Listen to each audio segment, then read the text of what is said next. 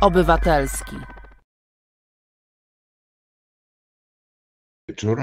Jarosław Szczepański, a gościem Szczepańskiego, czyli gościem programu, czyli gościem Państwa jest pan profesor Ireneusz Krzemiński. Witam cię serdecznie, panie profesorze. Dobry wieczór. Dobry wieczór, dobry wieczór Państwu. Pomyślałem sobie, że e, będziesz dziś najlepszym i najciekawszym gościem na ten czas. E, nie dlatego, żeby chwycić e, swój róg bawoli długi, centkowane kręty, tylko żeby porozmawiać o tym, co się wydarzyło przedwczoraj, czyli o wyborach i o tych procentach niesamowitych, czyli 70, 70 już teraz mówię dokładnie, 74% frekwencji tej wyborczej, która, mm, która jest e, frekwencją e, tak du niezwykle dużą, e, mianowicie taka była, bywała frekwencja, ale w II Rzeczpospolitej, czyli w latach 1919-1939. Świadomie, powiedzia, świadomie powiedziałem 19, bo pierwsze wybory były w styczniu 1919 roku. Więc takiej frekwencji nie było. Pana dyrektor, panu dyrektorze, panu redaktorze, Co? przepraszam, odzywa. Faktycznie. Faktycznie co? faktycznie odzywa się w to, tobie historyk. Że A, historyk. No tak, no. Bo to mnie, bo to mnie bardzo mm, zawsze, y, powiem szczerze, y, frapowało i bardzo ciekawiło, dlaczego po 89 roku, przepraszam Państwa,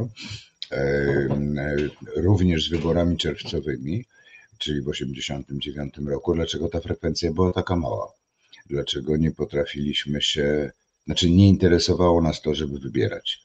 E, I, e, i powiedz, e, co ty o tym myślisz, że nagle ta frekwencja stała się 74% i do tego większy udział wyborców e, z przedziału wieku 18-29 niż 60 e, plus. No właśnie, to jest bardzo ciekawe. To mnie najbardziej zaskoczyło, ponieważ jednak ta zwłaszcza część e, wyborców PiSu to są właśnie ludzie w starszym wieku.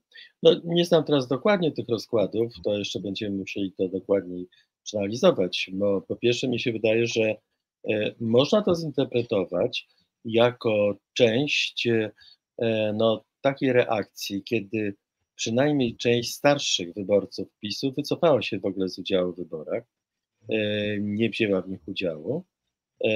I to jest bardzo, byłoby bardzo słuszną hipotezą. Czy ona jest prawdziwa? Nie mam zielonego pojęcia. Jak wiemy, w tej chwili osób powyżej 60 roku życia jest w Polsce więcej niż tego z tego młodego przedziału. No bo się tam, jest, tam jest prawie, prawie dwukrotna różnica. A, prawda? No więc, no więc to jest jednak y, dosyć jeszcze dla mnie tajemnicze. Ale myślę, że to po prostu byłoby też znakiem tego, że część y, ewentualnych wyborców PiSu, ale też być może wyborców, dla których nie, którzy uznali, właśnie ci najstarsi uznali, że nie ma dla nich stosownej reprezentacji, jest e, więcej niż to było e, wcześniej. Ale to są takie luźne hipotezy. Ja mówię, no to trzeba było bardzo dokładnie aktualizować dane. Ja w tej chwili, no dzisiaj co prawda siedziałem chwilę nad tymi danymi PKW, ale no, to trzeba by je przeliczać, e, korelować i tak dalej, na co żadnej możliwości nawet nie miałem.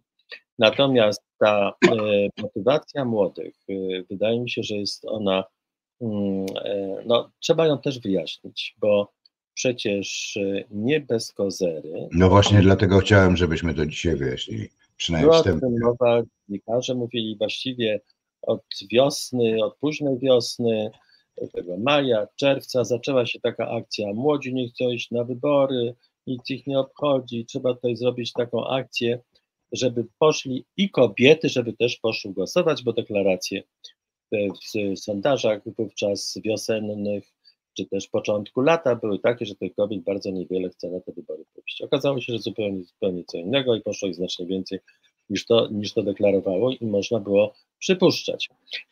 Ale dlaczego tak się stało? Otóż no, na razie pomijam te kwestie wpływu działań społecznych, ale mnie się wydaje, że to młode pokolenie, zwłaszcza te, które już jest w wieku od tam tych 22 czy 23 w górę, e, to jest pokolenie, które miało ze sobą pewne bardzo istotne do, doświadczenie. Doświadczenie protestów przeciwko, e, przeciwko e, zmianom aborcyjnym, ustawy aborcyjnej w 2020 roku. Przypominam, że właściwie to był bunt młodzieży bo tak to można było powiedzieć. No, tacy ludzie jak ja, moje koleżanki, które temu bardzo e, no, z aplauzem towarzyszyły tylko przez ekrany, dlatego że baliśmy się zakażenia e, COVID-u. Młodzi ludzie wtedy bardzo powszechnie było wiadomo, że ten COVID bardzo łatwiej, znacznie łatwiej zwalczają niż starsze osoby. Wobec tego e, tam właściwie byli głównie młodzi. I to były dziesiątki tysięcy młodych ludzi. Wydawało się, że oni po prostu wpadli później w apatię, nic nie da się zrobić z tym pisem i tak dalej. Ale moja hipoteza jest taka, że tam się zawiązało jednak pewne pokolenie. Pokolenie nierozumiane jako y, pokolenie rówieśników po prostu, jako rocznik jakiś, prawda?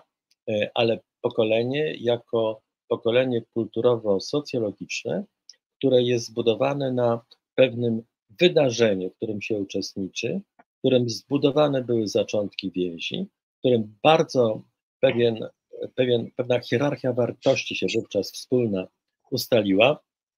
I oczywiście tego rodzaju pokolenia czasami przyjmują taką latentną postać, która się w ogóle moim zdaniem tutaj ujawniła. Ona się zresztą zaczęła, te myśli przyszły mi do głowy zresztą już pod koniec e, wakacji, w końcu sierpnia, może nawet na początku września, kiedy ujawniło się niesłychanie aktywnie całe e, zespoły grup, grupek, e, no przede wszystkim rozmaitych NGO-sów, ale też zakładanych dopiero jakichś stowarzyszeń albo jakichś grup dyskusyjnych i tak dalej, zwłaszcza młodych kobiet, ale nie tylko, e, młodych też no, studentów albo świeżych absolwentów, którzy właśnie podejmowali działalność, aby oddziaływać na tych swoich rówieśników, oddziaływać też na to, żeby kobiety poszły głosować.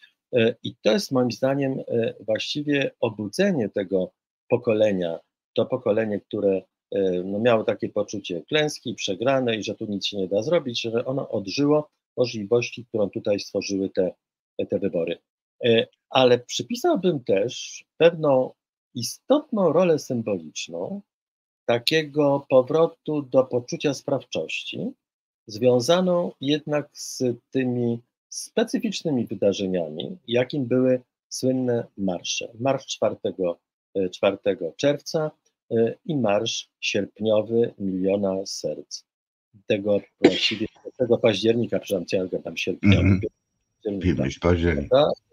To jest właściwie coś, co było niezwykłym wydarzeniem, zwłaszcza ten ostatni marsz, bardzo niedługo przecież przed wyborami, który okazał się być jakimś no, ogromną manifestacją, ogromną manifestacją, zresztą manifestacją wielopokoleniową, no ale sam byłem świadkiem, jakie ogromne ilości młodych ludzi w tym uczestniczyły.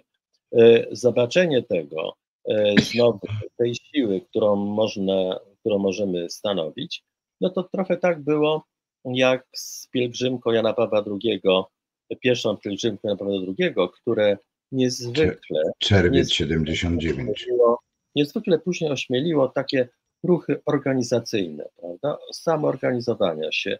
Tutaj było też takie pobudzenie do tego, żeby e, stanąć w tych kolejkach, symbolicznie rzecz biorąc, przy czym przypominam, że no, niezwykłe wrażenie robiły na mnie te kolejki w Londynie, na przykład załamana przez kilka prawda, przecznic. E, no i jak tam widziałem, oczywiście byli tam też starsi, ale głównie byli to przedstawiciele młodych osób, dwudziestolatki, no góra trzydziestolatki, prawda? A więc to, to jednak jest coś takiego, że no, e, ta siła sprawczości, czy też poczucie, że może, mogę być sprawcą, tutaj powróciło. I to jest właściwie no, niezwykle istotne wydarzenie. I ono Zapewne. otwiera, Aha. To, to, to, następną kwestię, mianowicie na tę kwestię społeczeństwa obywatelskiego. Ja chciałem powiedzieć, że pierwszy to właśnie był sondaż obywatelski przygotowany przez Długi Stół, który niezwykle precyzyjnie powiedział, że jeżeli by głosowało więcej kobiet, to mamy bez porównania większą szansę na wygraną, bo później jeszcze był drugi sondaż e, robiony przez to samy ten, ten długi stół, ale ten to już był fundowany, prawda, który jeszcze w ogóle to bardzo dobitnie potwierdził. Co prawda chodziło nam wtedy o jedną listę, którą też wszyscy uważali, że to byłaby najsłuszniejsza. E, no to o tym jeszcze możemy później porozmawiać. Niemniej jednak już wtedy było wiadomo, że im więcej młodzieży pójdzie na e, głosowanie, im więcej kobiet, no to właściwie mamy e, wygraną opozycji demokratycznej.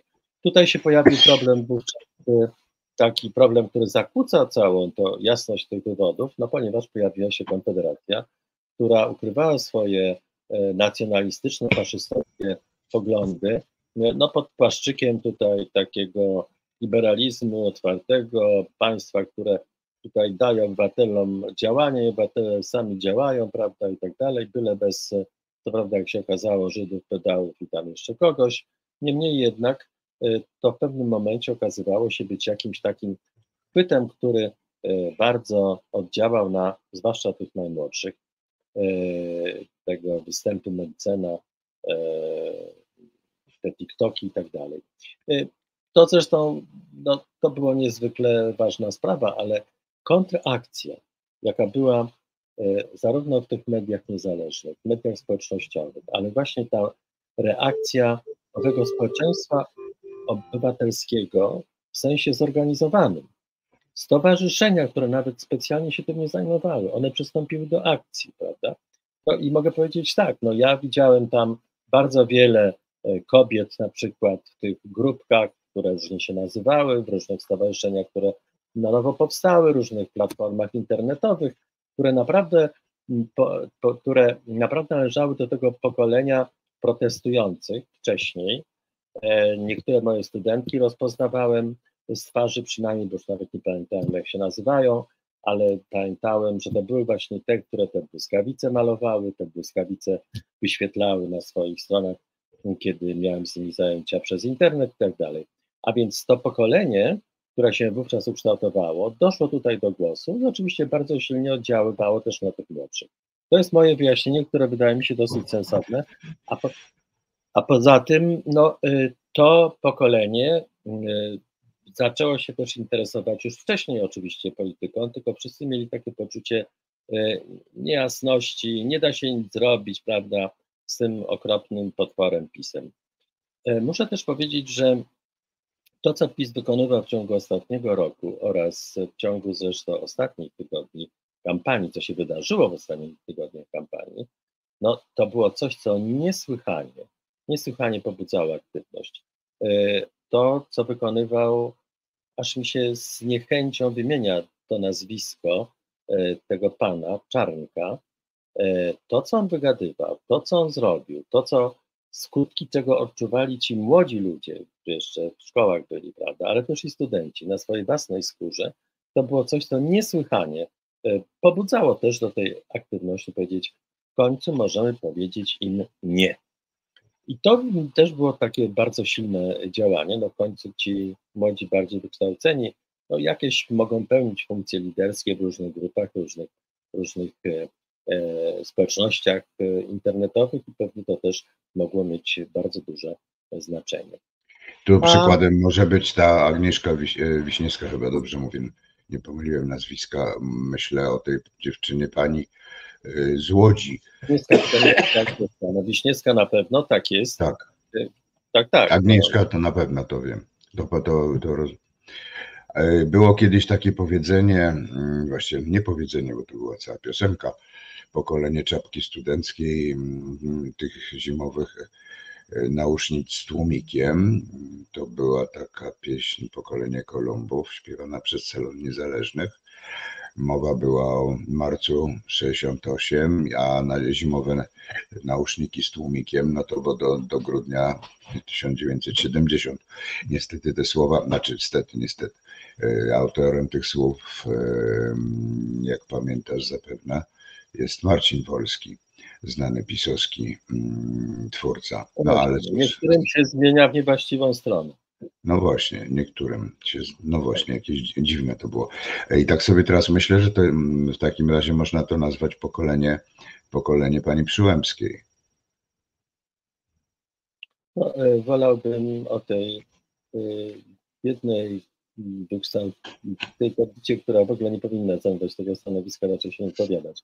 Ale jeszcze wracając do tej młodzieży, ja chciałem zwrócić uwagę, że e, w 2007 roku młodzi ludzie odegrali też bardzo istotną rolę w, tej, w tych wyborach i też wzrost ich udziału wpłynął na zwiększoną wówczas też frekwencję. E, a poza tym jeszcze przypominam wybory prezydenckie 2020 roku, gdzie młodzież była bardzo e, aktywna i bardzo duża część młodzieży wzięła udział w wyborach, oczywiście po stronie Trzaskowskiego. E, to, jak wiadomo, w absolutnej większości.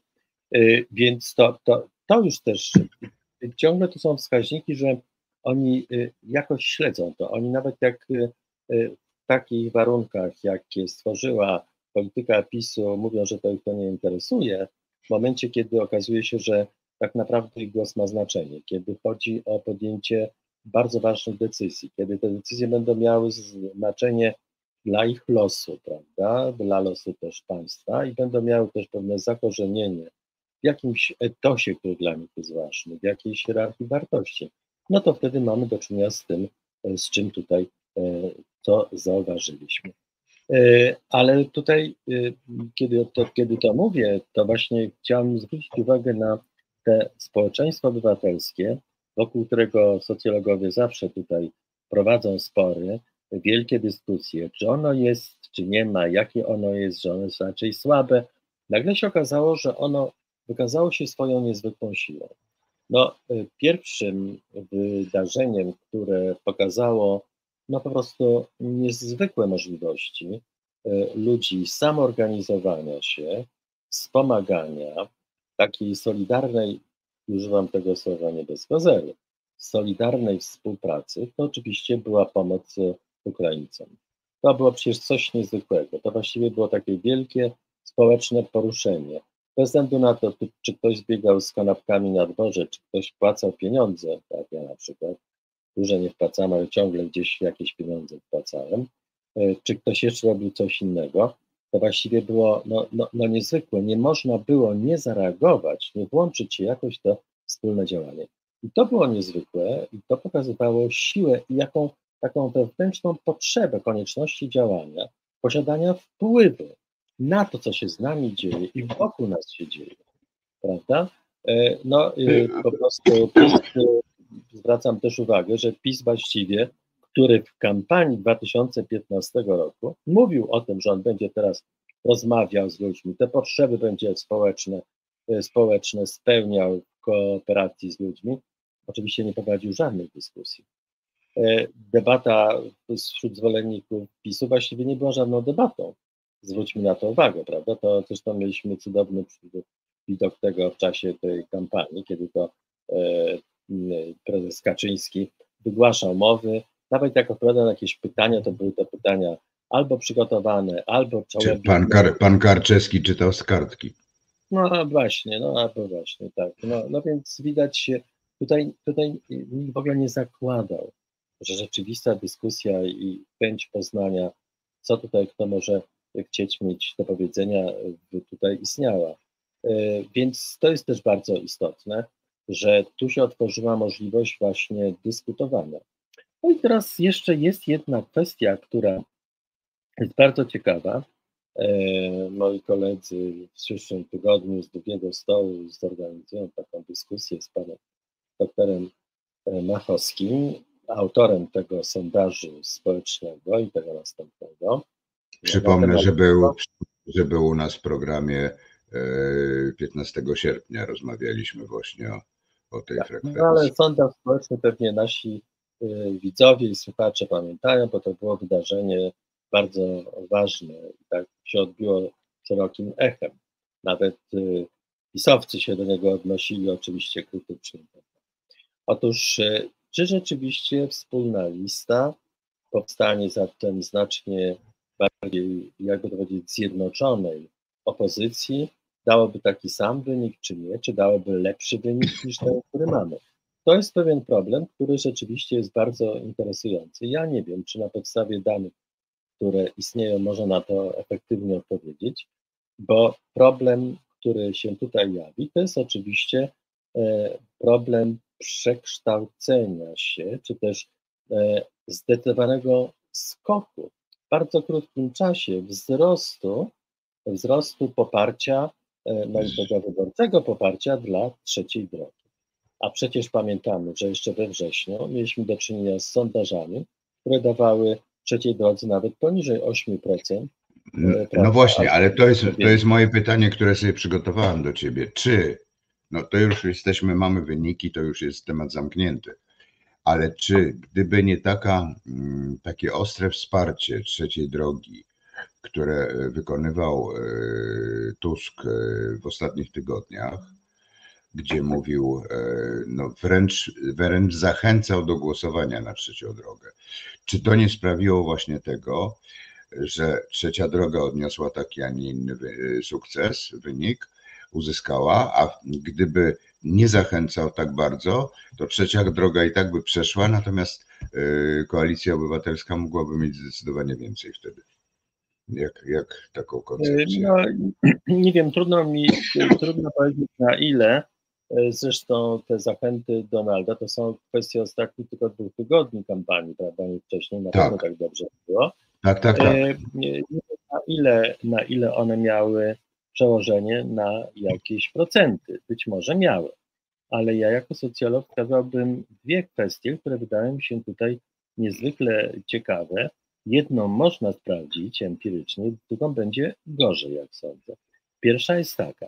Wydaje mi się, że Trzecia droga, e, zwłaszcza, że poparcie dla niej zaczęło rosnąć w sondażach w końcu września, e, kiedy właściwie mieliśmy no, bardzo już zdefiniowaną sytuację na wsi, kiedy pewna znacząca część rolników, ale też i przedsiębiorców, e, nawet takich, którzy przedtem głosowali na PiS, a w każdym bądź razie byli skłonni na niego głosować, E, całkowicie się od PiSu odwróciło, uznało go za właściwie wroga, e, z wielką niechęcią o nim mówiąc.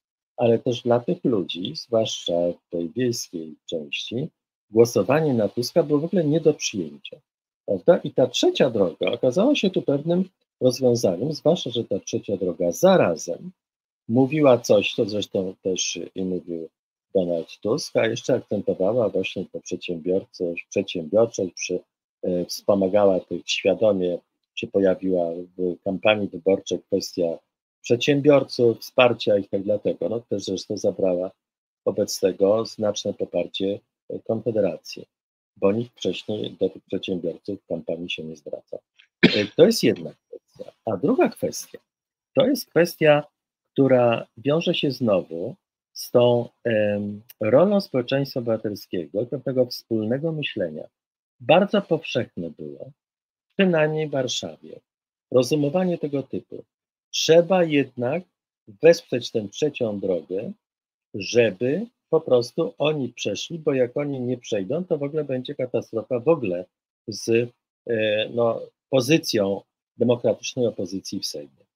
E, I teraz pytanie jest takie, e, jak wiele zawdzięcza w swoim wyborczym sukcesie trzecia droga tym, którzy, jakby to powiedzieć, kalkulowali nie z sympatii, ani z poparcia dla trzeciej drogi, ale dlatego, żeby właśnie cała opozycja była górą i głosowali na nią, jak wielki jest to zakres ich w ich zwycięstwie. Obawiam się, że tego nie określimy. No, ja mam bardzo dobre przykłady no, całych tutaj grup, które decydowały co prawda ja bym wolał na tę koalicję, no dobrze, ale musimy głosować na trzecią drogę, bo nie wiadomo, czy się dostaną, prawda? E, mam przykłady bardzo osobiste, e, które też o tym by świadczyły. Osób, które bynajmniej nie były żadnymi zwolennikami e, trzeciej drogi, a nawet nie lubiły przynajmniej jednego z tych dwóch głównych liderów, ale właśnie z poczucia obowiązku, aby PiS był pokonany, taki, takiego wyboru dokonały. No więc to są bardzo ciekawe zjawiska. Nie wiem, tego, tego będzie bardzo trudno sprawdzić. Będzie to bardzo trudno sprawdzić. Na temat to, jak głosowali rolnicy, zwłaszcza wykształceni rolnicy, jak głosowali przedsiębiorcy w pewnych kategoriach wieku e, w wyborach, wyborze trzeciej drogi, to będzie przynajmniej tę hipotezę można będzie łatwo zrobić, sprawdzić. Było pytanie przed chwilą, chwilę wcześniej o frekwencję. E, ja sądzę, że jeśli chodzi o frekwencję, to PiS przewidywał, że ona taka będzie za granicą, taka, czy taka, czy trochę mniejsza, czy trochę większa. E, dlatego tak do ostatniej chwili kombinował z tym e, rozliczaniem przecież bez. Tak, bo zmienia prawa wyborcze niekorzystnie. Właśnie. Przy, przypomnę, że to prawo wyborcze właśnie zostało zmienione stosunkowo niedawno. I to nawet już w czasie, w którym nie powinno być w ogóle zmieniane prawo, bo ono na pół roku przed wyborami nie powinno być zmieniane. Więc to jedno. Po drugie, sądzę, że, że ludzie, szczególnie Polacy w Wielkiej Brytanii, e, widzą dokładnie, co się stało z Wielką Brytanią e, po Brexicie e, i, i wcale im się to nie podoba. Ten, to właśnie ta zmiana, no zmiana w ogóle i gospodarcza zmiana w Wielkiej Brytanii. Więc to jedno, bo się obawiali polexitu. w ogóle nie słyszałem, bo w ogóle nie słyszałem twojego pytania, bo mi tak zanikł dźwięk. Mówię, że ludzie w Wielkiej Brytanii po prostu obawiali się e, polexitu, mają doświadczenie Brexitu i doskonale wiedzą, czym to się je i jak, i jak to wygląda. W związku z czym stąd była duża frekwencja właśnie tam bo przecież wiele osób stamtąd w ogóle przyleciało do Warszawy. Bardzo wiele osób pojechało do, przynajmniej z kolei z Warszawy czy z okolic, to wiem, do e, Kielc, a tam rzeczywiście mm, te, e, ten rozkład głosów, e, szczególnie przy Giertychu, był znaczący i, tam brakowało, znaczy nie brakowało, to właśnie nie zabrakło tych kilkunastu, czy kilkudziesięciu, czy kilkuset głosów które zostały dołożone, pewnie dowiezione właśnie między innymi z Warszawy. To jest e, kolejna rzecz, a frekwencji, że nie przewidziano takiej, to powiem tak, w bardzo wielu dyskusjach publicystycznych, czy nie tylko publicystycznych, bo wydaje mi się, że socjologicznych też, e, była mowa, że no może będzie sukces, ale nie dojdzie frekwencja do frekwencji prezydenckiej z ostatnich wyborów, czyli 64%. Ja nie chcę rzucać tu nazwiskami, bo może się teraz wstydzą ci, co to mówili, ale i to publicznie, ale, ale z przyjemnością ich zapytam, e, zapytam kiedyś, jak się teraz czują. A mm, i to właściwie, no tak. E, a teraz. Tak, e, rzeczywiście było trudne do przewidzenia, chociaż no można było przewidywać, że w takiej sytuacji, kiedy tak naprawdę chodziło też o to, to nie, nie o to, kto wygra, ale chodziło o to, y, że albo będziemy mieli drogę ku otwartą, ku y, autokratycznym, monopartyjnym rządom. Mamy taki powód do takiego gierka, czy też będziemy mieli demokratyczny, praworządny państwo, które powróci do demokracji, do praworządności i tak dalej, E, no to ten wybór właściwie można było przewidywać, bo to tak samo jak taki konflikt zasadniczy, który się zarysował w 2007 roku, prawda? Więc tam też był wzrost e, jednak e, uczestnictwa w wyborach, tak samo jak no, ten pojedynek Duda-Trzaskowski, on miał też taki wymiar pozapersonalny i pozapartyjny. Więc właściwie można było przewidywać, ale na pewno nie aż taki skok uczestnictwa. Ja tu wrzuciłem przed chwilą e, adres e, strony internetowej PKW i tam są wyniki wszelkie z rozdziałem dwustronnym. No bo nic nie słyszę. Z podziałem, nie wiem dlaczego panie Maćku Ireneusz mnie nie słyszy. Ja, nie, nie Może ja za cicho mówię. Nie, zanika mi głos po prostu. Tak jakby, no, zanika też i obraz i dźwięk na moment. No to nie wiem, to, to nie u mnie, nie ode mnie. Czekaj, zbiłeś mnie teraz z pantałyku. A jeszcze ta frekwencja, to przypomnę, to kwestia ta we Wrocławiu. Myśmy w, byli przygotowani na to, że po 21, mówię my w sensie komisja wyborcza moja, i jeszcze tam było kilku akurat w tej szkole, w której... kompletnie zamurowało cię i nie słyszę cię. Mm, Teraz no to... już cię widzę, więc będę słyszał. E, w komisji, w której byłem i to były jeszcze w tej szkole, w której byłem, e, były jeszcze dwie komisje, czyli w sumie były trzy. I myśmy byli przygotowani na to, że, że po 21 może być kolejka i że trzeba będzie ludzi wpuścić do środka, e, do tej szkoły, no bo do sali by się nie dało, bo po prostu stosunkowo mała była. E, I, e, I, nawet byliśmy bardzo zdziwieni tym, że nie tylko, że kolejki nie było, ale tak właściwie od ósmej to już prawie nie było w ogóle chętnych do głosowania, że wszyscy przyszli wcześniej. Natomiast w tym kart do głosowania, bo to jest istotne, nam zostało bardzo niewiele. Nie mówię o referendum, bo tego zostało mnóstwo. No tak, bo... czyli właściwie bardzo duża ilość ludzi przysz, musiała przyjść na te wybory, którzy byli tam zarejestrowani. No dokładnie, plus jeszcze ci, co byli, przychodzili z zaświadczeniami.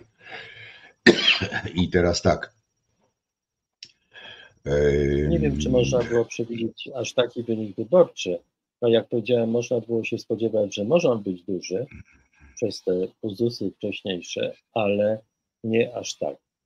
No e, właśnie. Czyli pewne czynniki, które musiały decydować. No i to dla mnie jest e, znowu trochę zagadkowe, bo sam mówiłem również w rozmowach z Tobą, że właśnie mam takie poczucie takiego ogłupienia społecznego, ulegania tej propagandzie, odwieszania spraw, takiej jakby takiej społeczno-politycznej bezmyślności, niechęci do namysłu nad tym, co się dzieje.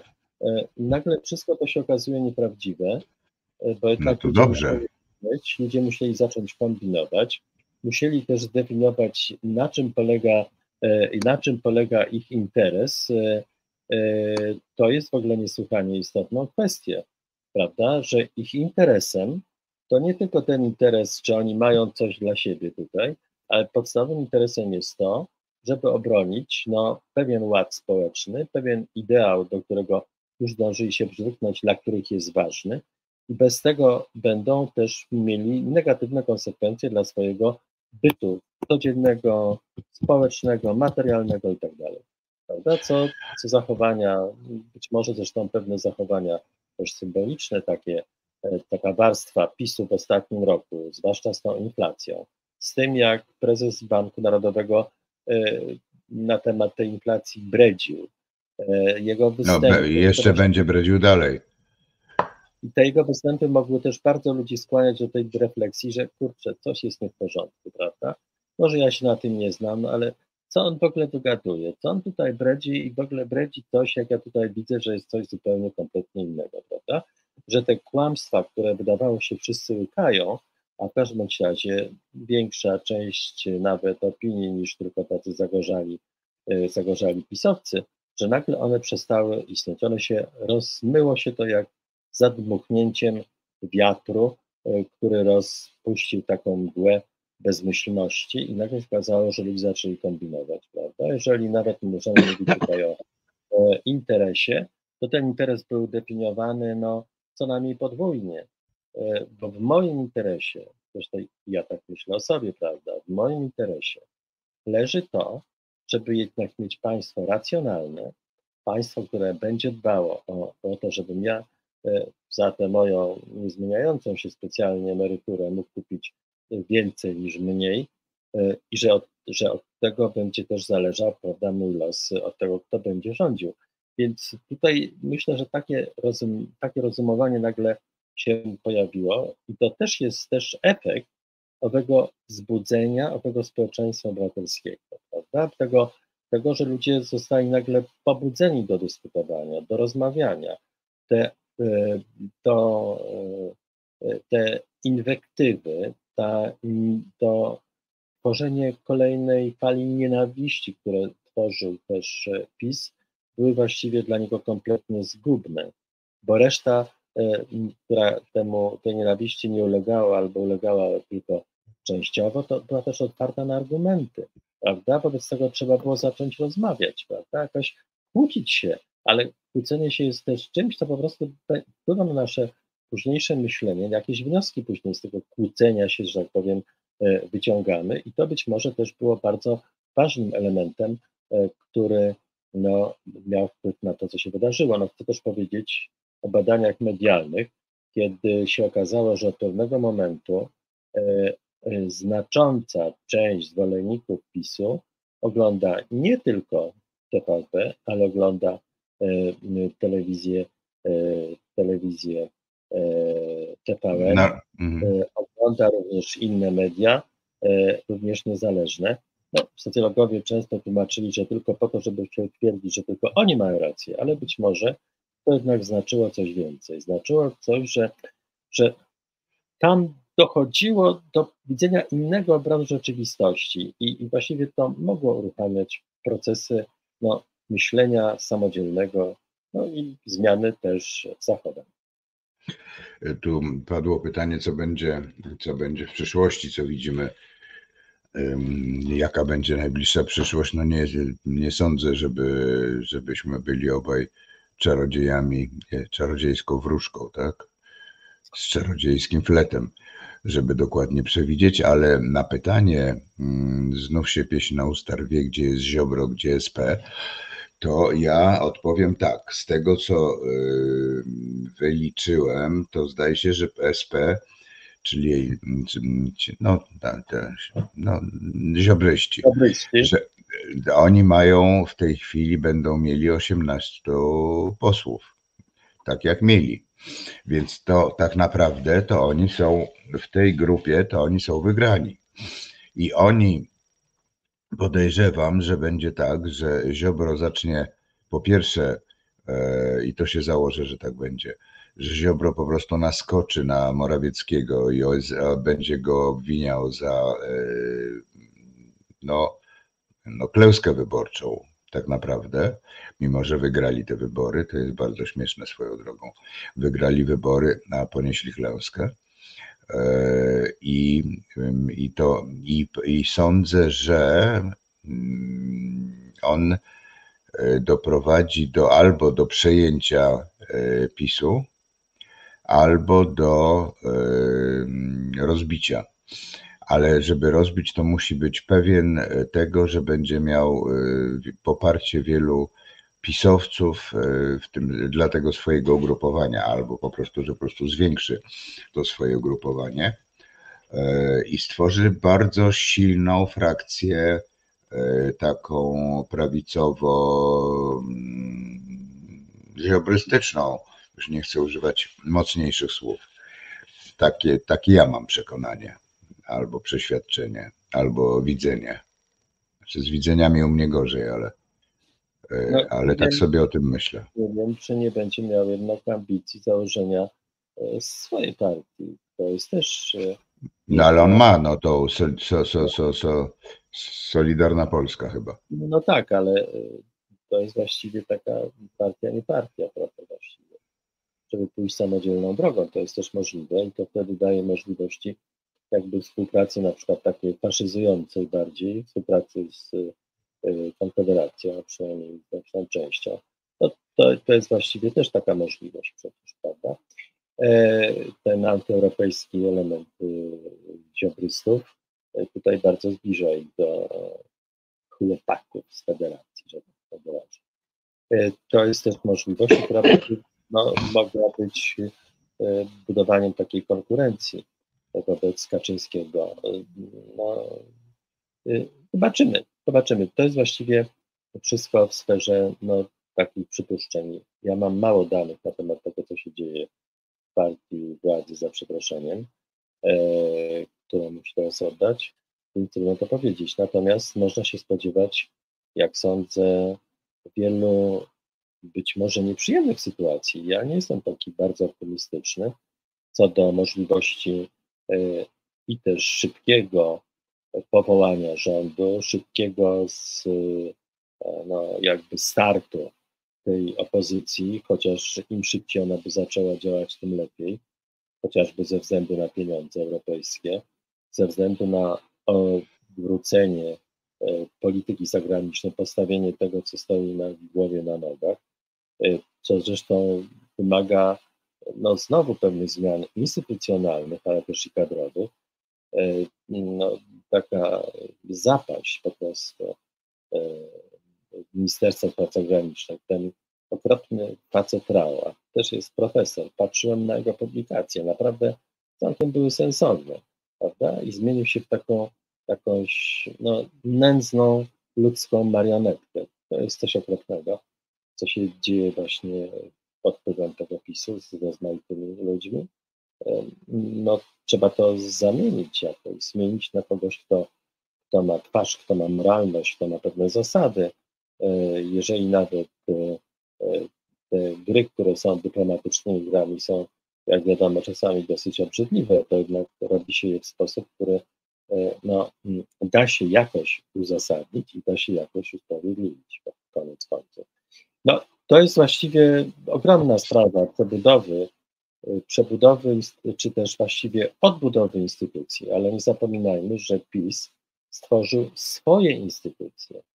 On, prawda, najpierw niszczył te, które istniały, demokratyczne, przede wszystkim przez e, zmiany kadrowe, wprowadzając taką, takiego, takiego, e, powiedziałbym, e, sędzi Niktosia, jako jest pani Przyłębska, na stanowisko, które no, właśnie mój znajomy, redaktor Janek Oborowski właśnie mówi, słuchaj, to była dla mnie świątynia, tam były świątynia umysłów, tam byli wybitni ludzie, którzy w tym Trybunale występowali, tam wszyscy traktowali się z ogromnym szacunkiem, e, uznaniem, e, tam byle kogo w ogóle nie było nigdy. No i taka jakaś pani, która mhm. przed 60 awansowała, awansowała do z sądu e, rejonowego do okręgowego, to była cała jej kariera. No więc tutaj mamy taką sprawę. Po drugie, e, no właśnie te instytucje, które, są, które e, utworzył, które e, utworzył ten, ten cały PiS, prawda? Poczynając od tego, tej obrzydliwej instytucji Glińskiego, która kontroluje, ale jak widać nie do końca udało się to skontrolować. Przepraszam, wyłączę ten telefon, żeby nam nie przeszkadza. Kontrolować tego E, NGO-sów, to zresztą niesamowite, że one przetrwały e, mimo trudności, mimo kłopotów, mimo e, no, bardzo wybiórczego wspomagania NGO-sów przez państwo, wspomagania tylko swoich, prawda, katolicko-narodowych.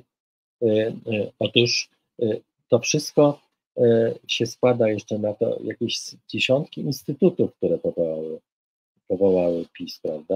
no i organizacji gospodarczych również.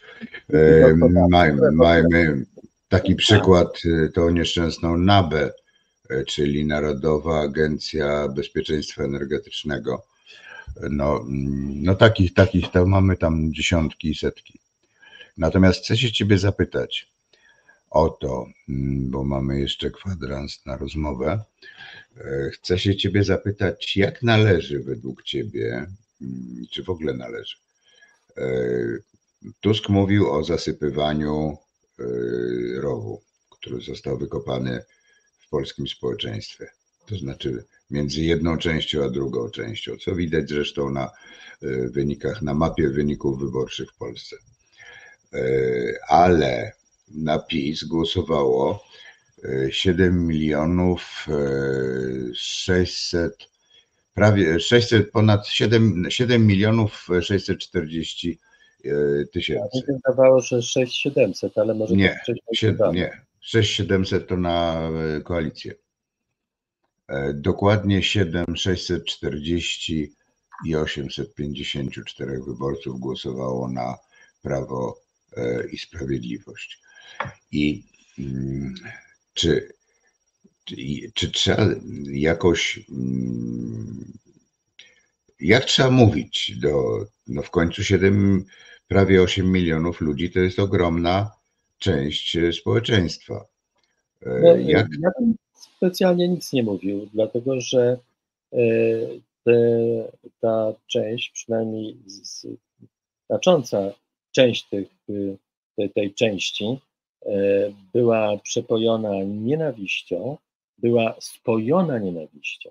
W momencie, kiedy przestanie się tę nienawiść pobudzać, kiedy nagle się okaże właśnie, że e, e, nie będzie tego, tej zachęty w ogóle do, nienawiści, do nienawiści, kiedy otworzy się większa możliwość wyrażania nawet swoich niechętnych e, uczuć, czy niechętnych, niechętnych stanowisk oficjalnie wobec tych, których się nienawidziło, a oni nie będą otwierać noże, nie będą, prawda, opowiadać tym samym językiem, a wręcz odwrotnie, wyjaśniać, prawda? Tak jak to robił Tusk na przykład, kiedy tam się znajdowali zwolennicy PiSu.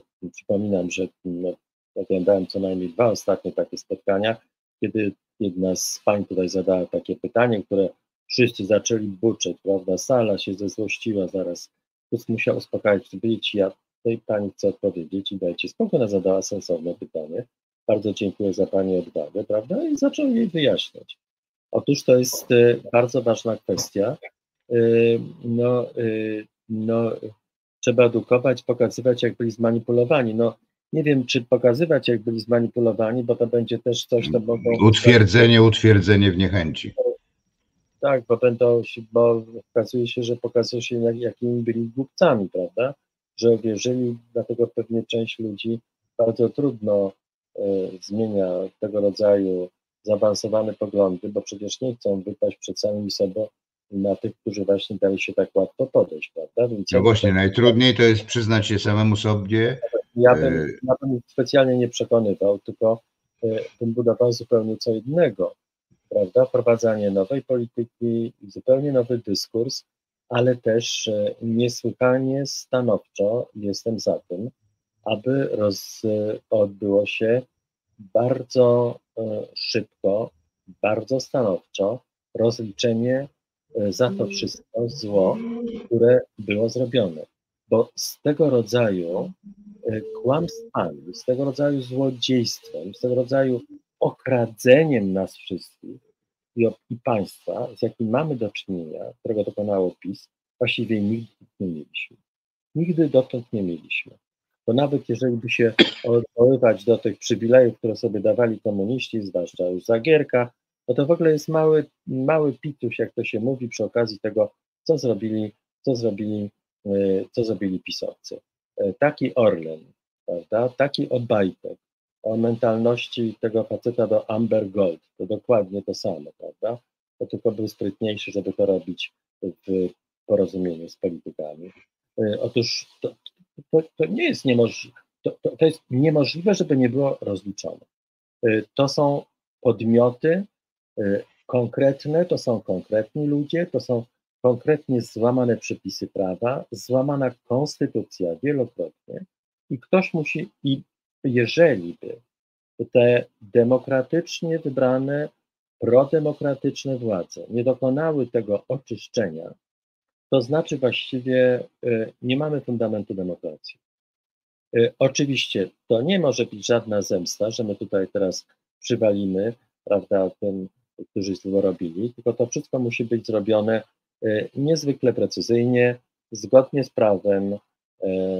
No, to myślę, że różne tutaj instytucje mogą być powołane specjalne, jak komisje sejmowe, komisje senackie, ale też przede wszystkim praca sądów, które powinny e, się zająć e, tego rodzaju rozliczaniem, e, biorąc pod uwagę bardzo konkretne rzeczy, prawda? Konkretne, na ile działało się na szkodę spółki. No na przykład, jeżeli wspominamy sobie pierwszą kadencję PiSu, kiedy spółki państwowe były obsadzane przez facetów, którzy naprawdę nie mieli zielonego pojęcia o tym, żeby być menedżerami takich spółek i pracowali na przykład rok albo półtora roku, zaraz później byli zwalniani, żeby następni mogli prawda, objąć tę posadę.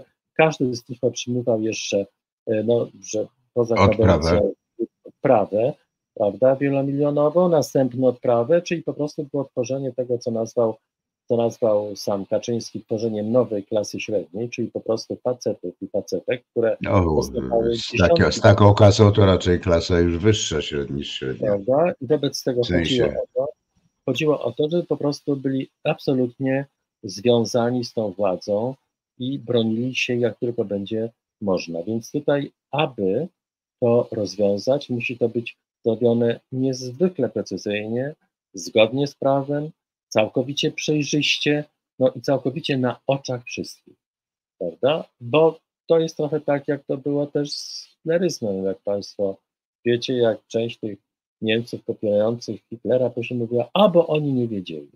Bo oni wiedzieli, a nie wiedzieli. Wiedzieli, a nie chcieli wiedzieć. Wiedzieli, a nie wiedzieli, bo to, to się nie wiązało z tym obrazem świata, który był przyjmowany. E, I ci, e, ci pisowcy, tacy zagorzali, oni też nie chcą widzieć. Oni, oni nie widzą, można by rzeczywiście nie widzą, bo są zaślepieni w pewnym sensie tym ideologicznym myśleniem i swoją, i też nienawiścią do przeciwników. E, I wobec tego cały, takie, cały ten proces rozliczania, im będzie bardziej widoczny, bardziej transparentny, bardziej przejrzysty i jednoznaczny, to tym bardziej będzie on no, y, zmieniał też nastawienia samych tych ludzi, którzy y, PiSowi y, wierzyli. Bo nie zapominajmy, że to nie będzie rozliczanie pisowców, tylko rozliczanie tych, którzy rzeczywiście no, są odpowiedzialni za to zło, które w Polsce się wydarzyło. Za ja sobie pomyślałem takie. W gospodarce i tak dalej takie rozwiązanie, żeby e, codziennie, e, nie wiem, czy pod koniec wiadomości, czy na początku wiadomości, czy, czy zaraz po wiadomościach, e, żeby pani Cholecka odczytywała z tego, z tego wydawnictwa, które arbitro, czyli Marcin Celiński, czyli wydał, czyli 100 afer PiSu, no to jest 100 felietonów na 100 dni, i właśnie, żeby całe te wprowadzenie robiła Danuta Cholecka. I tak sobie myślę, że byłoby to naprawdę e, fajne rozwiązanie i takie, wiesz, takie przekonywujące, no bo skoro to ona by mówiła, no to, to, to musieliby jej wierzyć, no bo w końcu przez tyle lat to wierzono, wierzono w to. No właśnie, tutaj widzę, że mam, dostaję informację, że mam pójść do lekarza z przyjemnością. Nawet dzisiaj byłem, tylko, tylko lekarza nie było. Więc e, taka no, jest rzeczywistość. Kłopoty, więc mamy tutaj od razu jeden z problemów, który jest niezwykle ważny i też niezwykle trudny, bo trzeba, nie da się ratować tej reformy zdrowia bez powrotu do strukturalnych zmian. Strukturalne zmiany, zwłaszcza, że mm, prowadziłem taką debatę, która będzie chyba za tydzień opublikowana. E, debatę na temat ochrony zdrowia i mm, tam jeden z rozmówców, bardzo zacny ekonomista, e, pokazywał, że po prostu tych pieniędzy, które, e, te pieniądze, które są przeznaczone na ochronę zdrowia, są wystarczającymi pieniędzmi. I co więcej, mm, tylko muszą być rozsądniej wydawane i muszą być muszą być lepiej lepiej przygotowane te procedury medyczne. Już nie chcę tu opowiadać całego, zachęcam do, do wysłuchania tej dyskusji, ale też mówił o czymś, co mm, wydaje się aż nie może nie, nierealne, ale jest, że lekarzy w Polsce mamy też wystarczającą liczbę, bo, bo jest ich wystarczająco wielu, tylko muszą być lepiej wykorzystywani, żeby nie pełnili funkcji administracyjnych, bo taniej jest wykształcić administratora medycznego, który by prowadził całą tę dokumentację medyczną, a lekarz leczył i że to zdecydowanie wtedy i wystarczyłoby lekarzy, a trzeba by zadbać o e, wykształcenie na wysokim poziomie e, nowych, młodych, a nie takich szkołach, które teraz pootwierano, gdzie nie ma w ogóle żadnych klinicznych, mm, klinik, niczego z kolei. E, ja jeszcze nie powiedziałem, zdaje się, nie powiedzieliśmy, bo chyba o tym myślałem, ale nie powiedziałem a propos poplątanych myśli, e, że przykładem tej nieprzemyślenia frekwencji, nieprzewidzenia, może świadomego, było również to, również to, że ten, ta, ta sprawa we Wrocławiu, ta kolejka, która stała do trzeciej rano, bo tam przecież zabrakło kart wyborczych i E, I zdaje się, że ja właśnie szukałem dzisiaj dokładnie tych informacji na ten temat, ale ich dokładnie nie znalazłem. Ale z kolei e, pytanie jest, e, dlaczego okręgowa, okręgowa, nie mówię, że ta komisja, do której kolejka stała, tylko dlaczego okręgowa komisja wyborcza po prostu nie miała wystarczającej ilości rezerwy albo nie była w stanie pobrać już po zamknięciu lokali wyborczych kart niewykorzystanych z innych lokali. To można było zrobić błyskawicznie i tę kolejkę, która stała do trzeciej, dla tych ludzi szacun i, i w ogóle podziw. E, ale dla tego pana z tej pizzerii, nie wiem, czy, czy wiesz o czym mówię. Tak, tak. No to, to, to też wyśmienite. No po prostu to jest właśnie też taki przykład takiej umiejętnej mm, umiejętności szybkiego organizowania się. E, no to jest też przykład tego, do tego czegoś, do czego nadaje się to słowo, które właściwie było kompletnie zapomniane, czyli o solidarności.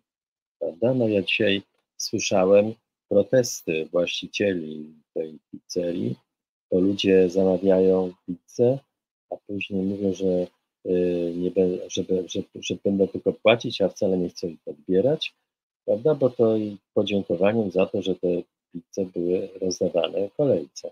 Na co oni się buntują, bo przecież oni po to to zrobili, żeby tym ludziom to dać. Cały ten dar będzie wtedy zlikwidowany. To bardzo zabawne w pewnym sensie, ale to też jest bardzo, bardzo dobrze widać, jak no właśnie ten duch solidarności, tej chęci pomagania, pomagania tutaj się, tu się ujawniał. No to jest właściwie coś bardzo pocieszającego, bo widać też, że też ta zbiorowa, zbiorowa chęć głosowania, ona była zbudowana na takim odnowieniu się, powiedziałbym, pewnego wspólnego myślenia, wspólnego przeżywania sytuacji, czyli takiego pobudzenia znowu społecznej więzi. A to jest niezwykle istotne, no, ponieważ ta nienawiść, którą siał e, bardzo umiejętnie, PiS, ona właściwie ciągle na nowo nas e, dzieliła, e, oddzielała od siebie i zabijała chęć takiego życzliwego współbycia. No i będzie się starała jeszcze dalej.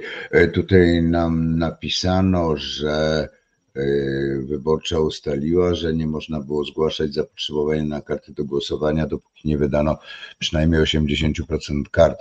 I tak i nie. E, przepis wyraźnie mówi, to jest zresztą obowiązek e, przewodniczących komisji, że w momencie, kiedy jest wydanych 70% kart, to należy zgłosić to E, i mm, spróbować przewidzieć, kiedy będzie te 80%, bo, bo po wydaniu 80% powinno być już natychmiast przewiezione, powinny być dowiezione nowe karty.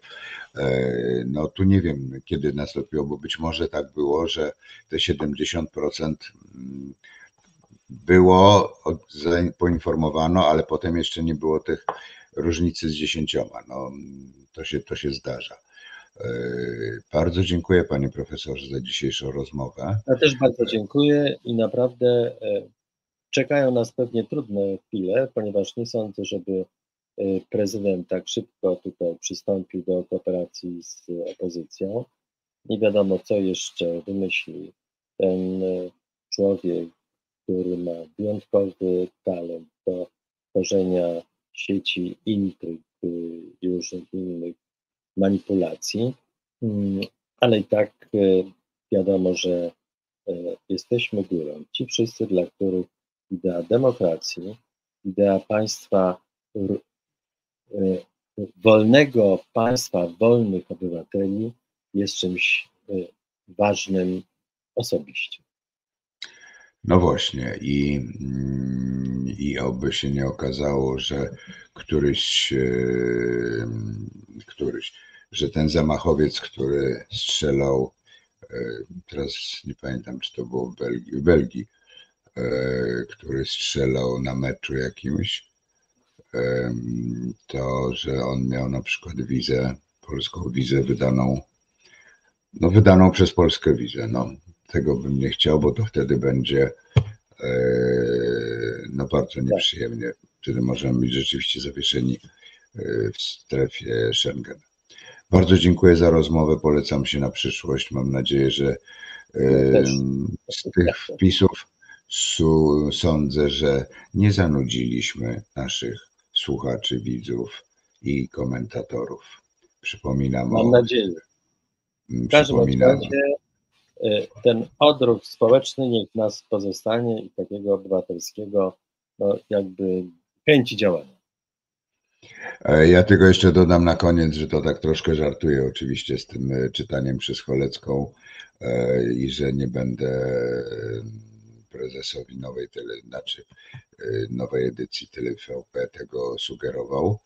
E, mówię to mm, jako pewnego rodzaju dowcip, a rzeczywiście te 100 afer PiSu należałoby e, w TVP e, wykorzystać i pokazać.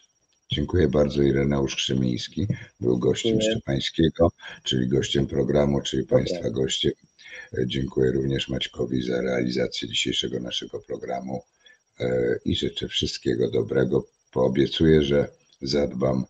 E, Właśnie, za, zadbam o swoje zdrowie. Zadbam o swoje zdrowie, ale chciałem z Państwem i z Tobą porozmawiać. Z Tobą dla Państwa. I dla własnego rozwoju też. Dziękuję bardzo, Jarosław Szczepański.